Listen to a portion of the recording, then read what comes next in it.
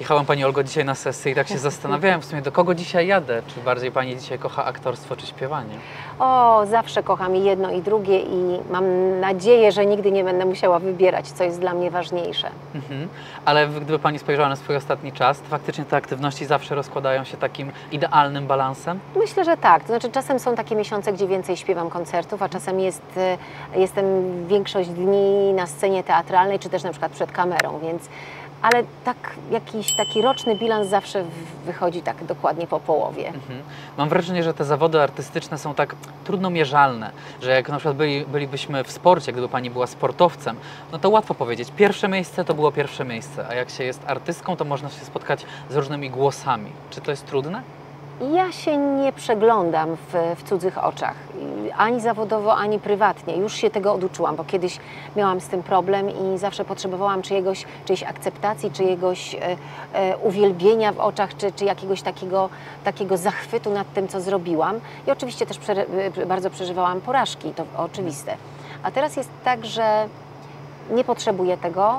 Wiem, co potrafię, wiem, co umiem, wiem, co znaczę i, i chyba sama sobie wytyczając ścieżki, stawiam sobie jakieś takie swoje własne e, cele, które weryfikuję przez moją własną e, wrażliwość i też jakby taką samoakceptację. I to jest chyba okej, że wtedy Okej, też... ale bardzo trudne, żeby Bardzo- samo akceptować tak, siebie. Tak, ale To była myślę, droga?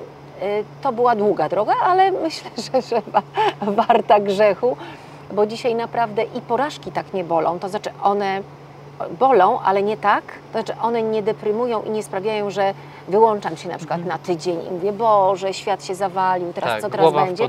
Tylko zawsze jest, aha, czyli coś się nie podobało, dobra, to teraz co tak, w takim razie poszło nie tak? Szybka analiza. Szukanie sz- rozwiązań. sz- Szukanie rozwiązań, żeby było lepiej. Więc ja już tylko tak e, patrzę. Ja już mam za dużo lat, żeby się takimi rzeczami przejmować, a już na pewno nie czytam jakichś hejterskich e, opinii na własny temat, bo myślę, że to, to już byłoby szaleństwo. Destrukcja i szaleństwo, Destrukcja i zdecydowanie. szaleństwo, tak. Kilka miesięcy temu, gdy świętowała Pani premierę płyty, w takim wpisie instagramowym bardzo zainteresowało mnie jedno, z, jedno ze zdań, Mhm. a mianowicie takie podziękowania w stronę tych, którzy nie wierzyli w ten projekt, którzy nie wierzyli w tę płytę. I Pani powiedziała, że im się należą też specjalne podziękowania. Dlaczego? podziękowania, ponieważ miałam rzeczywiście wielu znajomych, e, którzy mm, starali się, ym, abym nie nagrała tej płyty. Ciągle podsuwali takie argumenty, że e, takiej płyty nie zaśpiewam, te, tego materiału nie zaśpiewam sama na scenie, że to jest płyta do szuflady, że kto się w ogóle taką płytą zainteresuje, kto takim śpiewaniem wielogłosowym, dzisiaj to jest w ogóle passé, a właściwie to jest nieznane w Polsce, nikt tego nie robi, to po co takie rzeczy robić? No, mnóstwo argumentów, które ciągle przemawiały, przemawiały za tym, żeby tego nie zrobić. I im bardziej mnie przekonywali, że nie należy Czyli tej w ogóle mówili na- to bezpośrednio, to nie były głosy Oczywiście, zasłyszane z miasta. Ależ nie, no to, moi znajomi, abs- absolutnie, no, ludzie z branży. Powiem, powątpiewali jakby w sukces Tak. tego.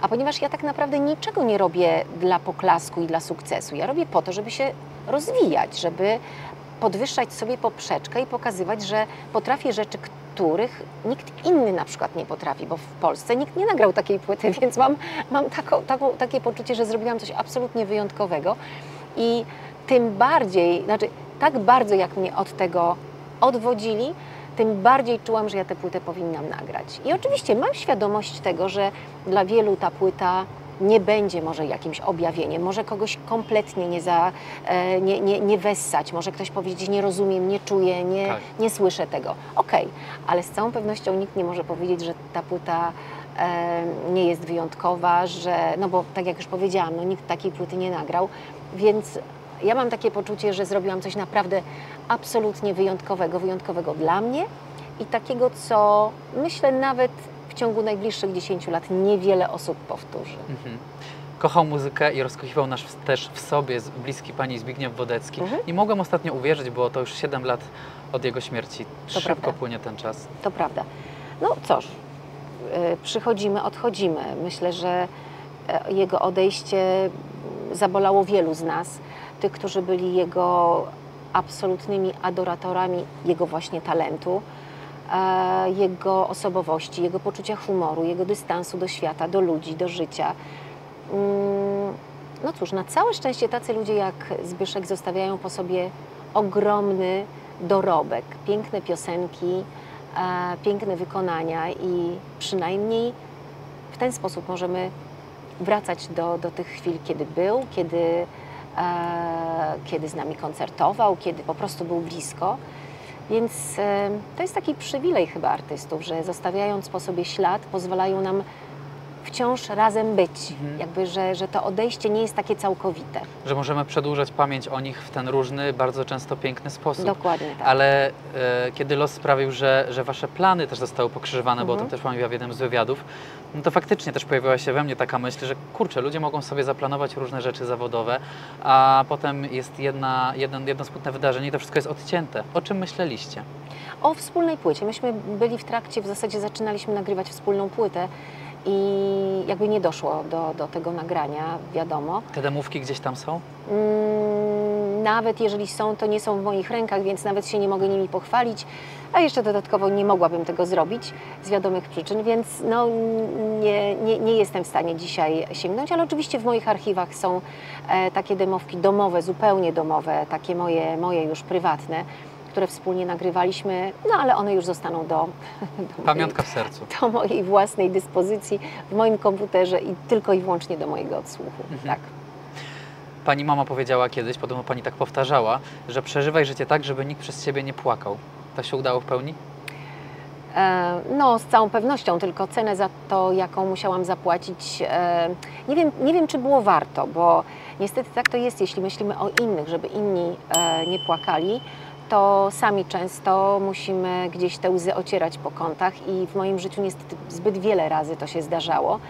I też odbierając te lekcje, mm, zrozumiałam, że życie też nie na tym polega, żeby ciągle się rozdawać na lewo i prawo, tylko przychodzi taki moment, kiedy zaczynamy myśleć również o sobie, kiedy zaczynamy e, traktować siebie poważnie, w sposób dorosły, w sposób e, mm, taki, że, że coś jesteśmy warci, znaczy jesteśmy warci tego, żeby nas również szanowano, więc e, oczywiście zawsze będę się kłaniała, bo jeszcze obok tego, żeby nic, nikt przeze mnie nie płakał, to jedno, ale że e, druga rzecz, e, pamiętaj e, córeńko, żyj tak, żeby nigdy dla nikogo nie być ciężarem, to z kolei sprawiło, że całe życie jestem Zosią Samosią, która wszystko sobie zrobi, załatwi, zorganizuje sobie, innym, za wszystko, e, za, za, za wszy- wszystko zorganizuje, często za wszystko zapłaci, Mhm.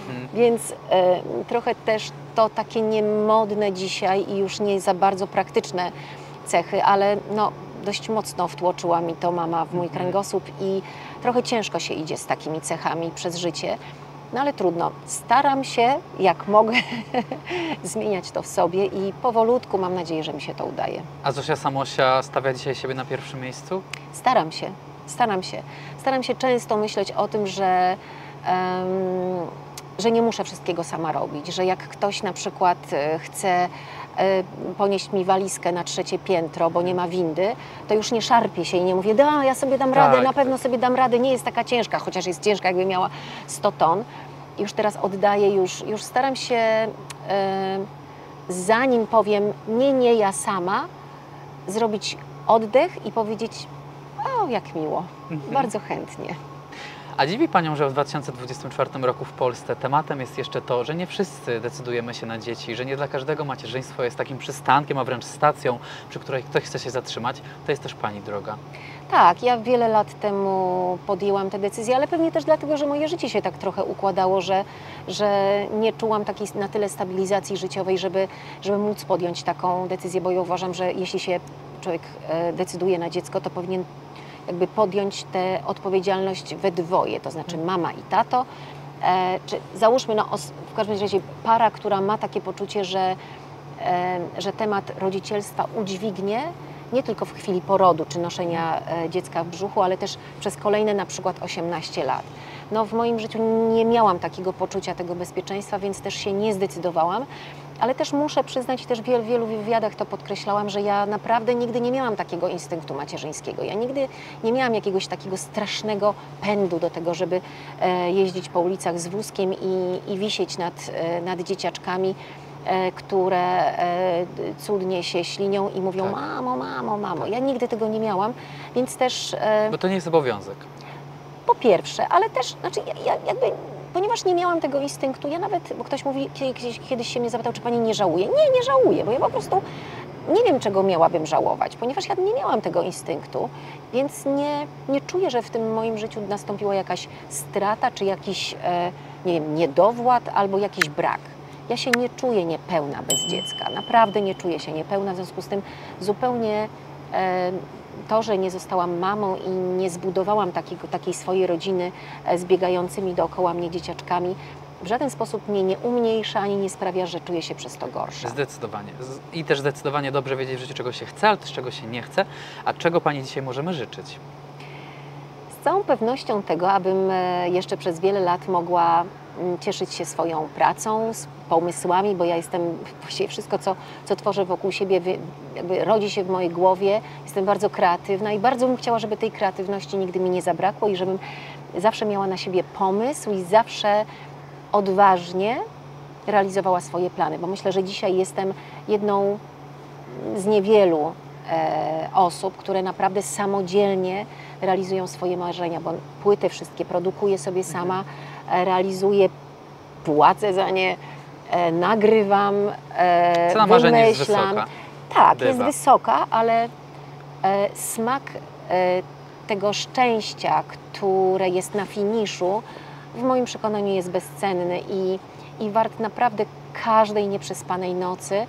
I chciałabym tak umieć dalej marzyć i spełniać te marzenia, jak to było do tej pory. No to życzymy dróg prostych, bez żadnych wybojów. Dziękujemy też za udział w sesji magazynu Viva. Jeżeli widzicie Państwo nasz wywiad, to prawdopodobnie gazeta czeka na Was już w sprzedaży. Dziękuję pięknie. Dziękuję.